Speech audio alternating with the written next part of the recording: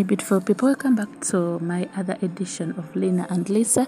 Today we have a collection of playing items like the indoor and outdoor items. We have playing tents all bouncing castles. These playing tents are very comfortable easy to maintain as in after the teens and toddlers are finished playing you can just lay them out then fold them and put them back to their normal place. And uh, most of them they use air to put inside them so that they become big.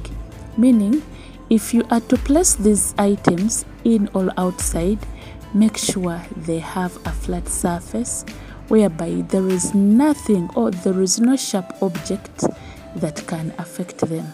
Then we shall also find some bed nets that are used by the teens and toddlers still to play.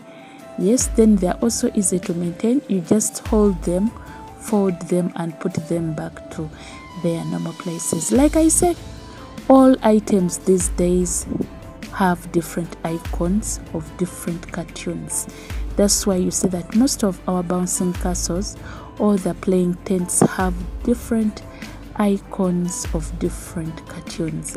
So that's what we made in today's collection. Let me hope you like the video.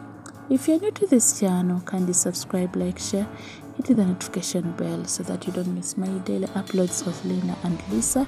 This is a game played between two people where you are entitled to choose one two or three depending on what you on your desires. All you can go a freestyle where you can choose all. It's upon your choice. Let me hope this video will help you to know the different in and outdoor tents or bouncing castles.